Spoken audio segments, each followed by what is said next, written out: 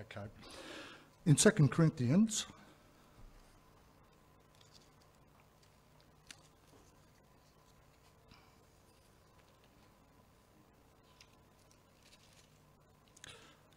and we'll read from verse 8.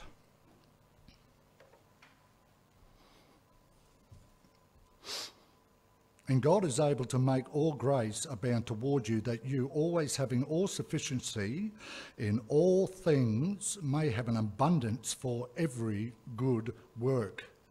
As it is written, He has dispersed abroad, He has given to the poor, His righteousness endures forever. Now may He who supplies seed to the sower and bread for food, supply and multiply the seed you have sown and increase the fruits of your righteousness, while you are enriched in everything for all liberality, which causes thanksgiving through us to God.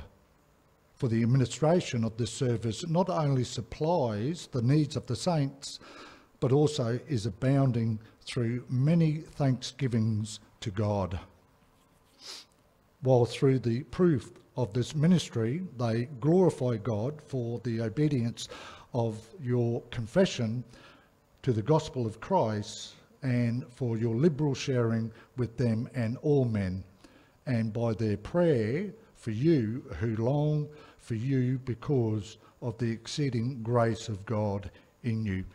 Emphasis on verse 15. Thanks be to God.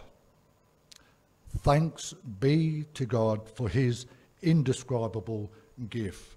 Now, I say all of that simply to say this that here Paul is summarizing his discourse by comparing the believer's act of giving with what God did in giving his son, Jesus Christ, his indescribable gift.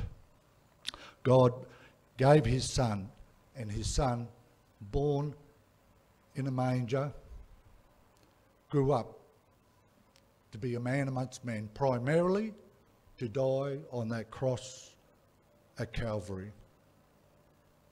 He was buried, and on the third day he rose again.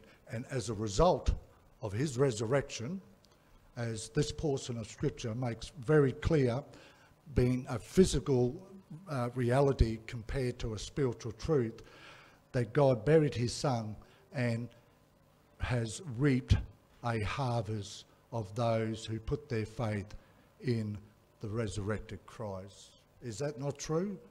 Because of Jesus' death, burial, and resurrection, he is reaping a harvest of precious souls and has been doing so since the day of Pentecost and continues and will continue until the day we go home to be with Him. And we can be all part and parcel of that ministry as workers together in God's field. One sows, one waters, but it is God who gives the increase.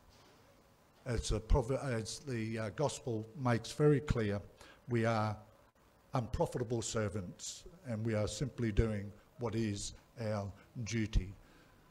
But there is tremendous reward for faithful service, brothers and sisters, tremendous reward, as though it's not enough that we have new life in Christ and that we possess a divine nature and that we have an in inheritance, incorruptible, undefiled, and that will not fade away, reserved in heaven for you, and that He gives us crowns, the crown of life, righteousness, rejoicing, the crown of glory, and all these crowns, which are incorruptible crowns, as though that's not enough. He still wants to reward those for faithful service. And I hope and pray that we'll all hear those words well done, good and faithful servant, enter into the joy of your Lord. As Romans, as Revelation chapter 22, verse 12 says, Behold, I come quickly, and my reward is with me to give to everyone according to his work.